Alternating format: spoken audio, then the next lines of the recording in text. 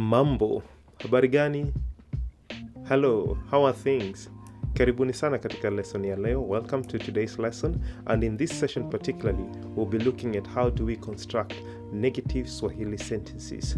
How do we construct negative Swahili sentences? We'll be looking at the essentials, we'll be looking at um, uh, the structure and we're going to have a quick practice of how we can construct at least one negative Swahili sentence across all different tenses. The first thing that we have to look at is that our learning outcomes by the end of our session today, we should be able to number one, understand what are the essentials. What do you need? Which prefixes? Which tenses?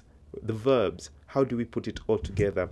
And which is understanding the structure for putting together negative Swahili sentences. So we're going to start um, uh, with the first thing, which is the essentials. What are the essentials? The first thing that we need for us to construct a negative Swahili sentence are the subject prefixes, and these are the negative subject prefixes. We'll be looking at things like I am not, you are not, he or she hasn't, we didn't, you plural will not, they are not. So these are the subject prefixes that we'll be looking into. And the second thing that we have to look at are our tenses. When did the action happen? Remember, these are still negatives, but um, let's look at the first one negative present tense the moment you do not have a current uh, negative present tense, but I'll show you how we put it together in Swahili. We also need the negative present perfect tense or negative present perfect tense kwa Kiswahili, has not and have not kwa Kiswahili. We need the negative past tense, didn't. We also need the negative future tense, will not. So these are the second bit that comes. So the first thing that will you start with a negative sentence is the subject prefix i am not you're not and then you add a tense where it applies and then the last thing that you need to put are the verbs. So for example a verb like kucheka which means to laugh and kucheza which means to play. So those are the essentials that you will need. So let's have a look at the next part which are going to be our the subject prefixes the negatives. So we're going to have a look at the negative subject prefixes in Swahili. What are they? So in English, when you say I am not, in Swahili, it is si. Your turn. Can you say that? Si. Next thing that you need is you are not. You are not. For example, you're not going. Uh-huh. Hu? That is the first subject prefix that you're going to start. Hu? And i've put these hyphens here so that you know that this is what will start your sentence. The next thing we need is he or she is not. How do we say that kwa kiswahili ha. Can you repeat that? Sema? Ha. We are not. How do you say that? Say that? Sema? Hatu. We also need you plural and not. Soma? Read it. Ham Sema, can you say it? Ham. They are not. How do you say that? Hawa. Say that? Hawa. So these are the negative subject prefixes that will form the first part of your sentence. When you're constructing your sentences on the negative, this is what you expect to be finding kwa Kiswahili. Sante sana. So let's have a look at the next part, which is going to be our negative tenses kwa Kiswahili, our negative tenses kwa Kiswahili. So we are going to have a look at our first tense, which is the negative present tense. In Swahili, we actually do not have a negative present tense, but if you're constructing sentences on the negative now, I am not going, you're not eating, he or she is not running, you know, the sentence is happening now, but on the negative, we are going to put the subject prefix and then no tense we do not have a tense but your verbs at the end the if they're bantu verbs that means they end with an r the suffix r they're going to we're going to replace that r with an e. For example i don't like sipendi. I don't like sipendi. So in this sentence you can see that the subject prefix si starts then we do not have anything in between there as a tense. And then the verb comes straight away and then because the, band, the verb is a bantu verb penda which means like or love ends with an r we're going to replace that r with an e which is the letter i. But the letter i in swahili has the sound e. So i don't like i don't love sipendi. We do have a negative present perfect tense. That one I have simplified it by saying has not or have not. I i haven't yeah? she hasn't kwa kiswahili we do have a tense and that is a ja So where we had previously like sipendi, which is I don't like, but if I haven't liked, we're going to be putting the ja in between there. So I'll be showing us in the next uh, session on how to put this. So do not worry. Here we're just looking at the essentials at this level. Then we have a negative past tense, and the negative past tense kwa Kiswahili is this tense ku, ku. And then we do have a negative future tense, which is the ta tense. So I have simplified it and I'll be going through this over the next few lessons, each tense individually, constructing sentences with them, and then you'll be in a comfortable place to construct your negative Swahili sentences across different tenses. So the last thing that we need to construct these sentences are the verbs. And we have the first verb, to see kwa Kiswahili. How do you say that? Kuona. To laugh kwa Kiswahili. How do we say that? Kucheka. Can you pronounce that? Kucheka. Happy kwa Kiswahili. How do you say that? Kufurahi. To be happy. Kufurahi. And the verb to play kwa Kiswahili we say kucheza. To return, to come back. Kurudi. We do have to pay. Kulipa. We do have another verb to try. Kujaribu. And another last verb here, to wait. Kusubiri or kungoja. Either of these two verbs are is okay. You can use kusubiri or kungoja if you like. So these are some of the verbs that we'll be using to construct negative Swahili sentences across uh, different tenses as we progress. So, what's the structure? What do we need? So let's look at the negative, uh, for example, the negative present tense. How would we construct a sentence? I am not going, he or she is not doing something. Present, now, it's happening now, but we are negating it. It's on the negative. So the first thing that you need is your subject prefix, and in this case, you're going to start with your si. And then you're going to come and add your verb. For example, penda. But you can see that now here, because the sentence is happening on the now, it's the, the verb is a Bantu verb. We're going to replace that a to an e. That's what I'm saying here. Note, if your verbs are Bantu verbs, drop the final suffix a and replace it with an i. So if you want to say I don't like, I don't love, you're going to say soma, say it kwa Kiswahili, sipendi, I don't like. We do have instances where you're going to have Arabic verbs. And for example, the verb that I want you to use here comes from the word safari. Safari is the journey, but to travel kwa Kiswahili is kusafiri. But because we have to drop our ku, that's why we're having husafiri. That means you're not traveling. Because this verb is an Arabic verb, we do not change the ending. So it the ending for Arabic verbs remain the same. Hence, you can see the e here. Sisafiri, and this is what I'm saying. Note for Arabic verbs, that means these are verbs ending with an e, e, and u do not change their suffixes. So keep that e at the end. So this is a structure for constructing a negative present tense, a negative present tense, or a tense sentence on the negative that is happening now kwa Kiswahili. Sante sana.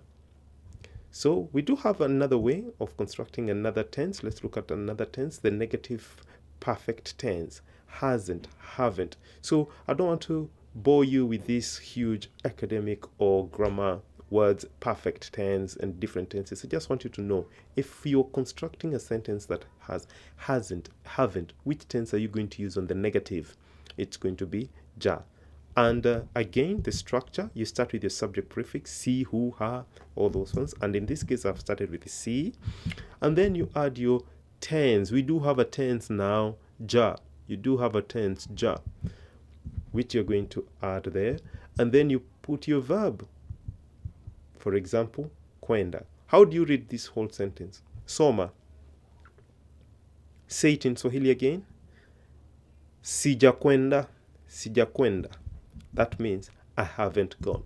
Again, note that the last thing here on this present uh, hasn't and haven't when you're constructing sentences with the, on the present perfect tense hasn't and haven't do not change the final suffix a as much as it is a bantu verbs ending with an a you keep the a so sijakwenda i haven't gone for arabic verbs for example How do you read this? Soma, read it. Hajarudi. Hajarudi. Remember the ja kwa Kiswahili is a dominant ja. So it's not a silent, but it's a dominant ja.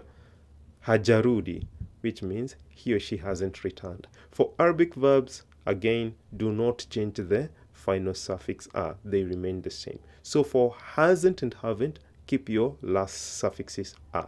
That is how we construct a present perfect negative tense kwa Kiswahili. Let's look the structure for constructing a negative past tense kwa Kiswahili, a negative sentence. What's the structure? And this is didn't, I didn't go. You didn't eat. He or she didn't do something. Kwa Kiswahili, we're going to use the tense ku. And the structure for this, again, you start with the subject prefix si, hu, ha, hatu, ham, hawa, plus your verbs, uh, your tense ku. You put your tense here. We do have a tense. And in this case, we're putting the ku for siku. I didn't. Hatuku. We didn't. And then you add your verb. In this case, the first verb I've used here is lipa, which means pay. So how do you read this kwa Kiswahili? Sikulipa, I didn't pay. Hatukujaribu, we didn't try. Look at that, we didn't try. So it's a long sentence. Hatukujaribu, we didn't try. Again, remember the last syllable on the past tense, we keep the final suffix a, and on the Bantu, on the Arabic verbs, we do not change the ending. Hence, they're remaining sikujaribu, we didn't try. Or hatukujaribu, we didn't try. Sante sana. So let's look at the uh, future negative tense. And in this, the negative future tense, kwa Kiswahili, will not. What tense are we going to be using here? We are going to be using the future tense, ta.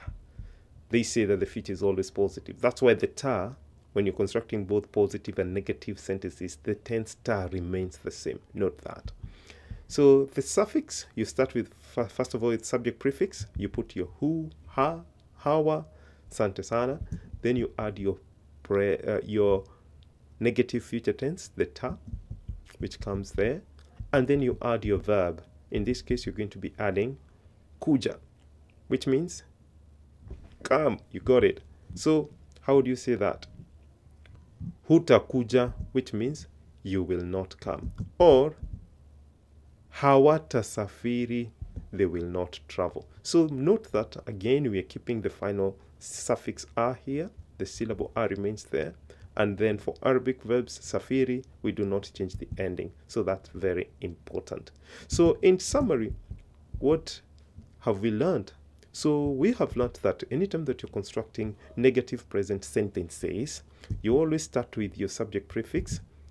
For example, I am not, si, and then put an I at the end. So I am not, si, verb comes in between here and then an I at the end. So you're not, hu, again verbs at the middle and then I at the end, which is a E. So si and then E, hu and then E. He or she is not, ha, we are not, hatu, you all are not, ham, and they are not, how. So how does that look in a sentence? For example, I don't like sipendi. So you can see I've started with the subject prefix si, then put the verb straight away, and then added an e at the end because this is the present negative tense. That means that um, you replace the final suffix a, syllable a, with an e. Look at that one. You don't like.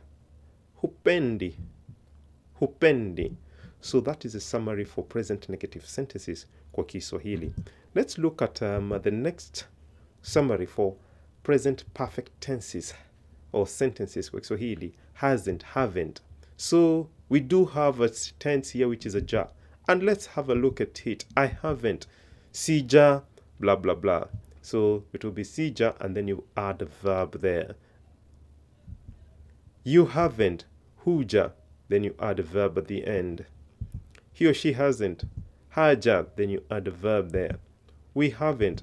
Hatuja. Then you add a verb. You all haven't. Hamja. They haven't. Hawaja. Let's look at it. Note that they keep the last syllable a. Keep the last syllable a at the end of the verb. let's look at an example so that you can understand how we do this kwa kiswahili. He hasn't eaten. Hajakula. He hasn't eaten. Hajakula. We haven't eaten.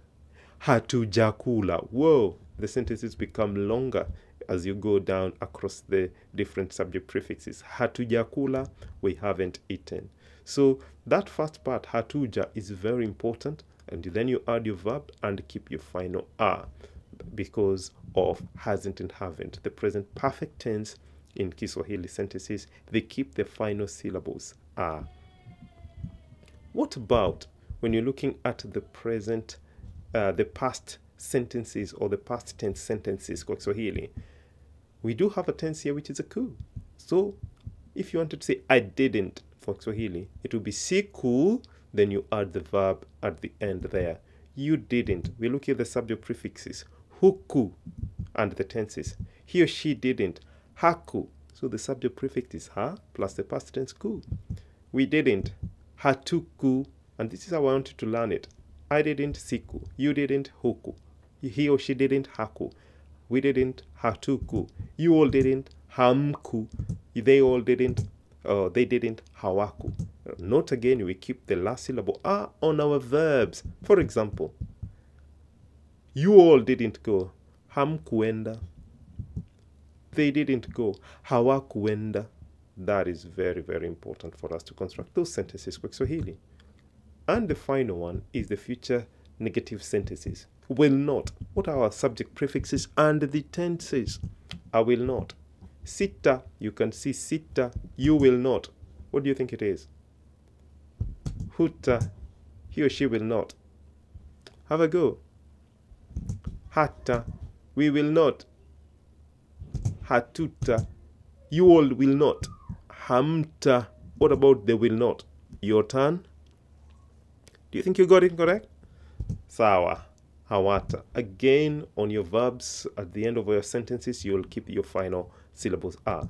For example, I will not drink. Sitakunywa. We will not drink. Hatutakunywa. Swahili sentences can be long, and that is one word. We will not drink. Hatutakunywa. That is very important. So that is very important kwa Kiswahili. And thanks for learning with us. And check out the quizzes for more practice. That will be very important for you to see how that comes together or whether you've grasped these sentences. And our next lesson will be looking at our negative present sentences. How do you say I am not, you're not across different verbs? Already you know the subject prefixes, you know that they, we do not have a tense in the middle, we just add an I at the end. But this is going to be a lesson where you're going to be practicing, doing more practice. Kumbuka, remember, practice makes perfect. The more you do it, the more you say it in Swahili, you say it better and you become good in Swahili. Kwaheri until I see you in our next lesson, the negative present sentences kwa Kiswahili. Baadaye.